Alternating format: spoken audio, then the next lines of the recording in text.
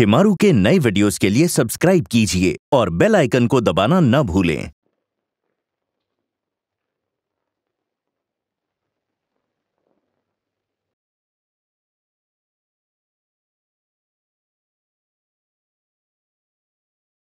विष्णु, जा यहाँ से।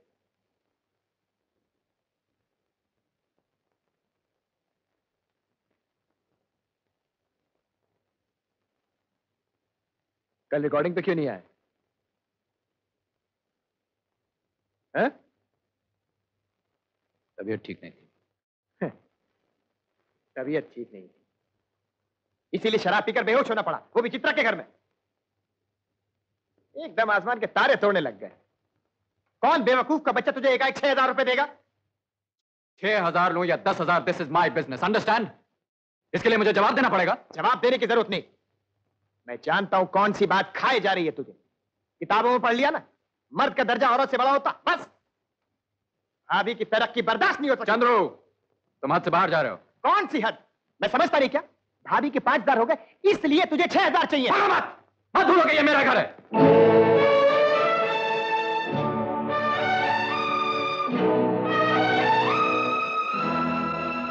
तेरा घर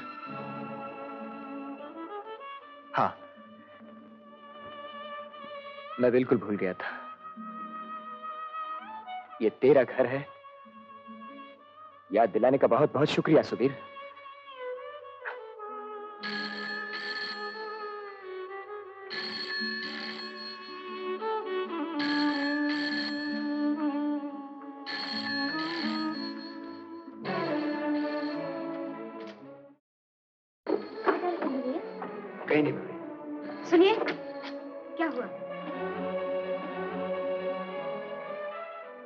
कौन? सुबीर कैसे हो? जी ठीक हूँ। तुम्हें एक अच्छी खबर दे रहा हूँ। हमारे संगीत उत्सव में तुम्हारी पत्नी उमा को बहुत बड़ा सम्मान मिला है। यह खबर उमा को दे देना। हेलो सुबीर? यहाँ कहिए। हमारा ये प्रोग्राम ऑल इंडिया रेडियो से रिले किया जाएगा। तुम्हें एक और तकलीफ़ दे रहा हूँ। कल तक उमा का एक छोटा सा लाइव स्केच भिजवा देना। जी मिल जाएगा। धन्यवाद।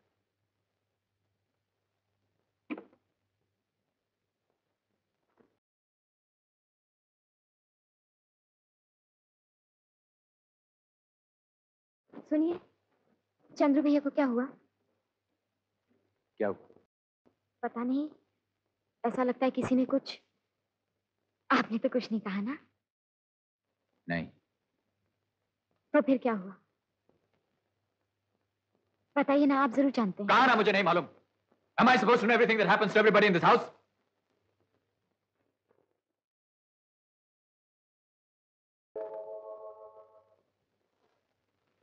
विष्णु भैया? साहब कहाँ? है साहब तो भी नहीं आए दीदी।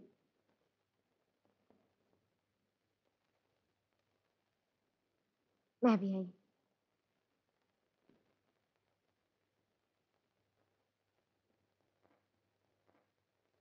मेम साहब? आपसे कोई मिलने आई है? कौन है? मालूम नहीं पहले कभी देखा नहीं अच्छा चल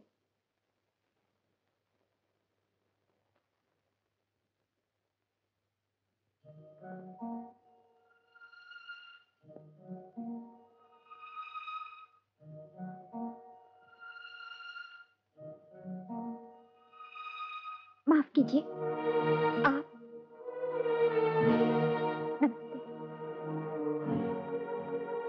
मैं उन्हें लेने आई। आपको कैसे पता चला कि सुबीर यहाँ है? मैं जानती हूँ। आपने यहाँ आने की क्यों तकलीफ़ की? एक फ़ोन कर दिया होता मैं उसे भेज देती। आजकल वो कुछ उदास से रहते हैं इसलिए मैं उन्हें खुद लेने आई हूँ। मैं भी कई दिनों से देख रही हूँ। सुबीर खोया खोया सा रहता है। क्यों? आप जानती हैं?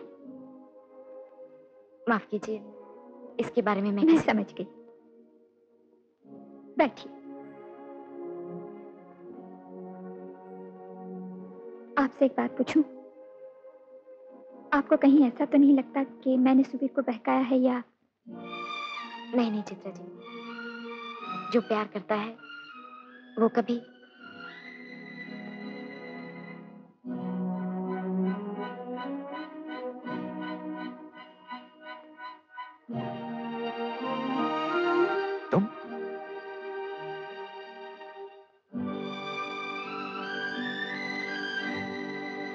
तुम यहाँ क्यों? यहाँ क्यों आई हो? आपको लेने। क्यों? मैं कोई बच्चा हूँ खुद नहीं जा सकता। सुबीर! बहुत रात हो चुकी है। अपने घर जाओ।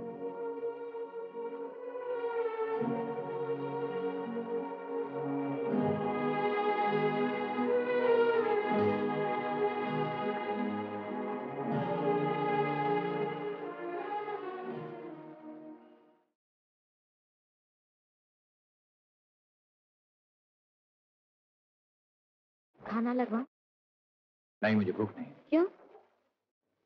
मुझे हर क्यों का जवाब देना पड़ेगा क्या? जवाब? मैंने कभी जवाब मांगा है आपसे?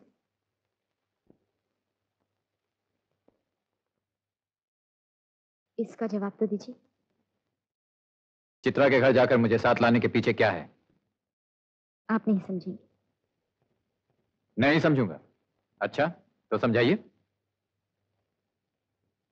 समझाओ तो समझ लेंगे क्या? देखो मत साफ़ साफ़ बातें करो ये पहलियाँ छोड़ो।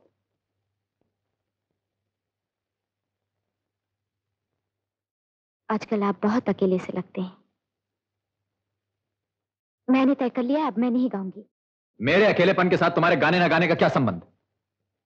मैं नहीं चाहती कि मेरी वजह से आपको कोई तकलीफ़ हो। तुम्हारी वजह से? हम्म। तुम समझती हो मैं तुम्हारी शोहरत तुम्हारे नाम से जलता हूँ। मैं नहीं जानती। आप जानते हैं। ओह ये सैक्रिफाइस कुर्बानी हम्म?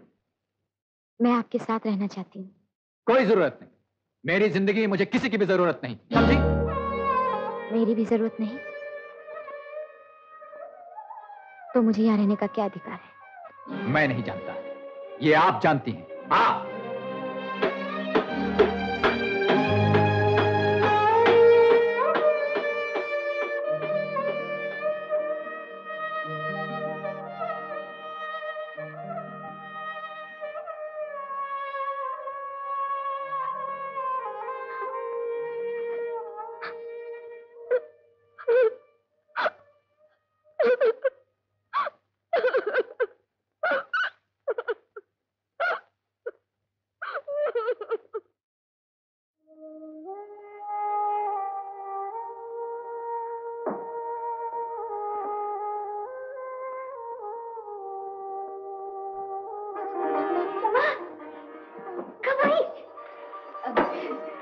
जीती रहो बेटी जीती रहो वीरू कहाँ है?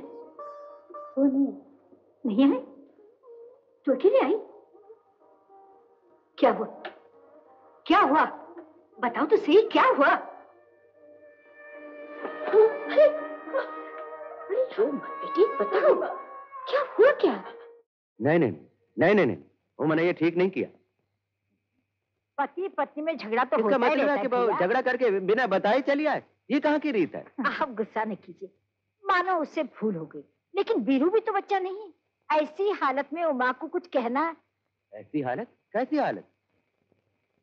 आप बहुत जल्दी नाना बनने वाले हैं। हाँ। बीरू को भी ये मालूम है। मैं उसे चिट्ठी लिखूँगी देखना पढ़ते ही भागा आएगा। अब आप उमा को कुछ मत कहना। जाइए तो जाइए।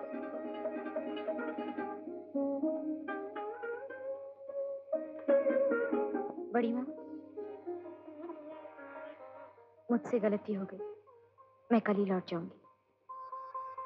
नहीं, पहला बच्चा मैके में होता है।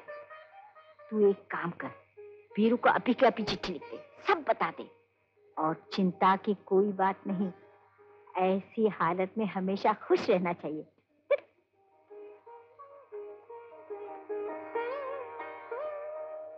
चंद्रू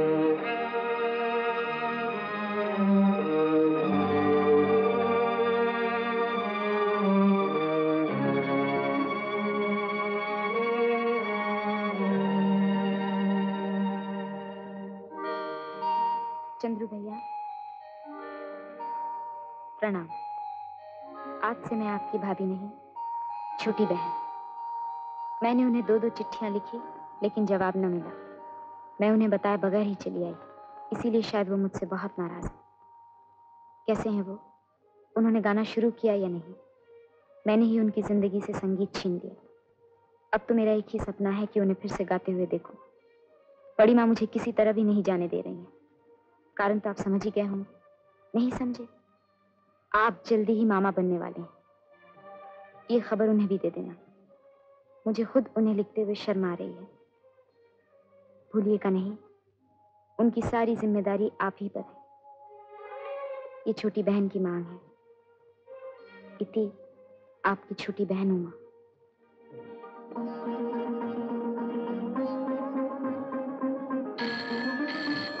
अरे विष्णु। जी सर। कौन देख? हेलो? विष्णु? चंद्रू भैया। ये फ़ोन क्यों रख दिया? लगता है जब से मैं गया हूँ इस घर में कोई किसी की सुनता नहीं। चल भाग भाग भाग जल्दी से गरम गरम चाय बना के ला। क्या? अभी आया चंद्रू भैया। जरा हाथ हटाइए। हैं। अबे ऐसे देख रहा है जैसे मुझे पहचानता ही नहीं। कैसा है तू? ये सब बाद में बताऊँगा। पहले मिठाई खिला। मैं बहुत अच्छी खबर लाया हूँ। क्या? मैं चाचा बनने वाला हूँ? चाचा नहीं मामा मामा। मामा? हैं? अब मामा या मामी ये तो बच्चा पैदा होने के बाद ही पता चलेगा। मतलब मुन्ना या मुन्नी ये तो माँ कौन बनने वाली? अबे यार तू भी उमा भाभी। सच? तुझे कैसे मालूम पड़ा? उन्होंने चिट्ठी लिखी मुझे और मुझे देवर से भाई बना लिया। कितना अच्छा होगा अपने घर में एक छोटा सा प्यारा दुलारा सा बच्चा घूमेगा। छोटा सा बलमा मुरे अंगना में गुल्ली खेले। छोटा सा बलमा मुरे अंगना में गुल्ली खेले। चल अब चलने की तैयारी कर। गाँव में।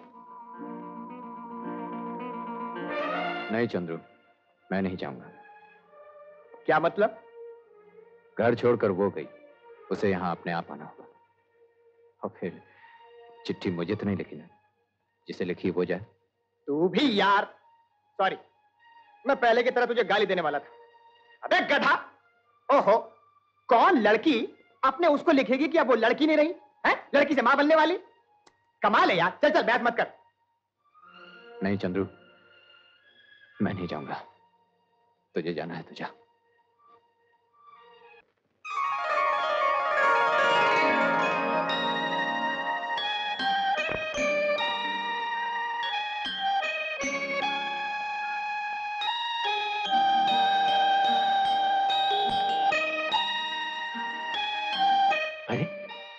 तुम कौन हो बेटा? मैं माँ का बेटा हूँ। माँ का बेटा? डैडी का क्या नाम है? सुबीर कुमार।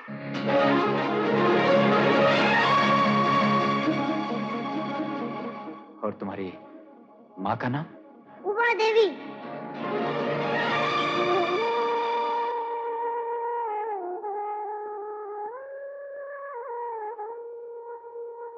मुझे मत छुओ। क्यों बेटा? ने मेरी माँ को दुख दिया है। मेरी माँ रोते रोते मर गई। नहीं नहीं।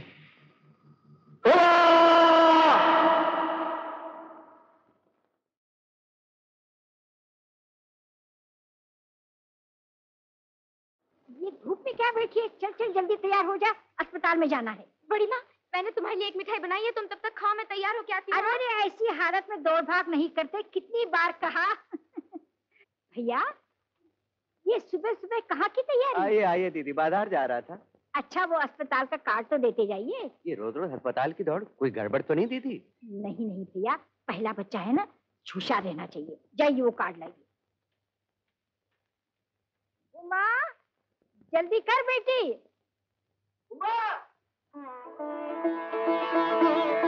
चंदू भैया।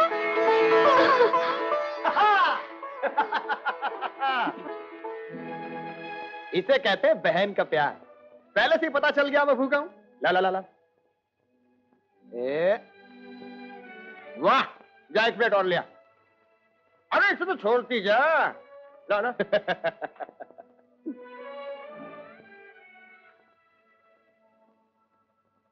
आप दुर्गा मौसी है ना?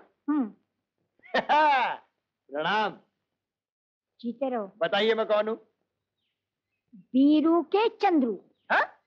अरे वाह मौसी और एक प्रणाम। जीते रहो। भैया ये बीरू के दोस्त चंद्रू। ओहो, बाबूजी। अच्छा है, जीते रहो जीते बेटा वो सुबीर कैसा है? बहुत अच्छा फ़र्स्ट क्लास दीदी उमा कहाँ है? और कुछ लाए अब आप इसकी फ़िक्र मत कीजिए आप अपने काम पे जाइए मैं सब देख अच्छा अच्छा अब मैं अभी आता हूँ बेटा। है? जी। बाज़ार जा रहे हैं। मेरे लिए मिठाई उठाई लाने, है ना? साधु संत है ना, अंतर का सब जान जाते मौसी, मेरे रहने खाने का इंतज़ाम क्या होगा? रह तो मैं कहीं भी सकता हूँ, लेकिन खाना जरा अच्छा होना चाहिए। मेरी एक बुरी आदत है। तीखा खाने के बाद मीठा चाहिए। मीठे के बाद फिर तीखा, तीखे के बाद फिर मीठा, और मीठे के बाद फिर तीखा। अच्छा अच्छा सब हो जाएगा। लेकिन बता, सुबीर क्यों नहीं आया? वो वो खबर सुनते ही पूरी बिस्तर बाँध कर तैयार हो गया। मैंने कहा अरे रिकॉर्डिंग का क्या होगा? वो बोला हाल में जाए रिकॉर्डिंग मैंने कहा लोग केस कर देंगे लाखों रुपए का जुर्माना हो जाएगा। बड़ी मिन्नतें की पाव पड़ा तब जाकर माना और मैं चला आया। उमा तू तैयार होकर घर पे आ जाना वहीं से अस्पताल जाएँगे। मैं पार्वती को भेजती हूँ चंदू का सामान भेज देना।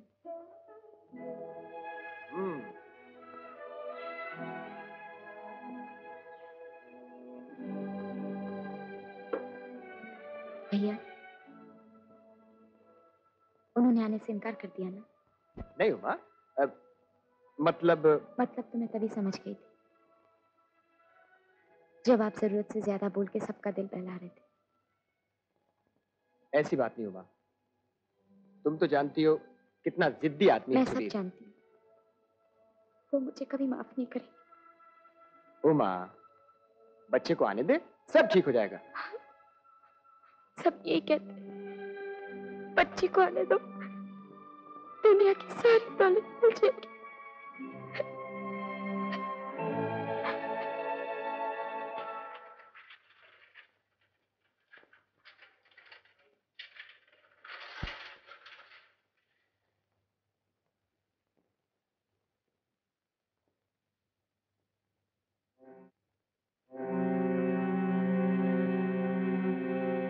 क्या हुआ डॉक्टर साहब। उमा? नहीं नहीं उमा जी ठीक हैं। लेकिन सदानंद जी मुझे अफसोस है कि मैं बच्चे को नहीं बचा सका।